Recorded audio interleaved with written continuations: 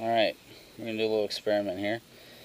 It's pretty hot today. It, you can see it says 99 right here, but that's under the deck, and uh, really, actually just turned to 100.